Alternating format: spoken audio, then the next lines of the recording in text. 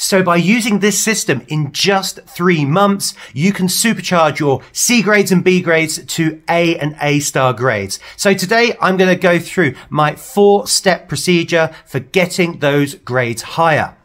And you're probably thinking to yourself, well, what guarantee if I follow this system is going to get me those A and A star grades? Well, a lot of my community have already done that in the last couple of years. So if you check out the comments right in front of you, you can see lots of my community have gone from those C to A grades, B to A star grades. And essentially they followed the system I'm going to outline today. So if you go through this carefully, you followed the advice, then in three months time, you could be confidently going to the exam thinking, I've got that A and I've got that A star. Let's get started. Okay, so the first step of the system is to review what you know. So at this point in the cycle, you have completed the course, you've gone through every single topic, and now you've got that three months to get up to that A and A star. So the first thing you need to do is look at the top 10 topics of your course. Now, I've done a video for you that goes through exactly those things. So you can look at the all of IGCSE 058 maths course, which I've done a two hour video on that goes through those top 10 topics or if you're doing the 0607 course, I've done exactly the same thing over two hours because these are the most important topics that come up the most often. So you need to go through that video and make sure you look at all 10 topics. Now, once you've done that process, then it's looking and focusing on those topics of weakness. So say, for example, you struggle with the transformations topic, which comes up a lot on both courses and on paper four. Well, I've done the hard work for you. I have put together an all of IGCSE transformations video, which goes through about 50 minutes of as many past paper questions as I can find on that particular topic. So this gives you a chance to really go through all the details of that topic, making sure you're really happy and really focus on the style of question they could give you on transformations. So that's number two here. Make sure you focus on that particular topic of weakness. Now, once you've gone through those topics of weakness, that could be three or four from that 10 video, maybe volume and surface area as well. Then step three, I think it's an important step to put in here before we go on and look at other weaknesses. And that is complete a paper two or complete a paper four or preferably both. And at this point in the cycle, because you've gone through those top 10 topics, you're going to be getting at least 40, 50% of the paper correct. You're going to feel comfortable with 40 or 50% of the content. And it's important here to really have that boost to your mathematical confidence and have that feeling of, well, I'm already working at that, say, B grade, for example. Now, where can you find past papers? Well, I've done a video on this. I'll put one, a link in the description above so you can go through that yourself and find those past papers. Again, any past paper really from 2017 onwards would be suitable. Just make sure you don't do anything on histograms because that's been taken off the course, for example, for 0607.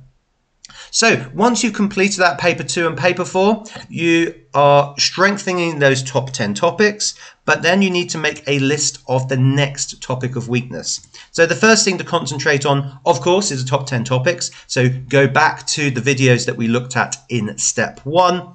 Once you're happy with those top 10 topics, then we're going to look at those, what I call second tier topics. Now, what do I mean by that? Generally, these are things like sets and Venn diagrams, vectors, circle theorems. So they come up frequently every year, but they don't make that top 10 topics. So the way we're going to go through this is we've done the top 10 topics. Now we're going to look at the topics that come up very, very often, the topics on the board that you see. Now, if you check out the playlist above, I go through all of IGCSE vectors. I go through all of IGCSE circle theorems. I go through all of IGCSE trigonometry so you can practice those second tier topics. Once you've done that review cycle, then we go back to step three here and complete another paper two and another paper four. And at this point, you're getting 60 or 70% of the paper quite secure. And then you're heading towards that A grade at this point. Now we go back to step four again, which is the next topic of weakness. Once you're happy with the top 10 topics and these so-called second tier topics, then we then look at individual topics. So we look at a topic that doesn't come up maybe frequently, but we need to revise. A good example of this would be interior angles, for example. And now you can focus your revision on really specific topics of weakness that could make the difference then between your A grade and then your A star. So what we're doing here for the A star grade cycle is first of all the planning stage. So the planning stage is using those top 10 topics. Then the do stage of that, which is go through my video to make sure that you've got those secure, or at least you can identify where those weaknesses are.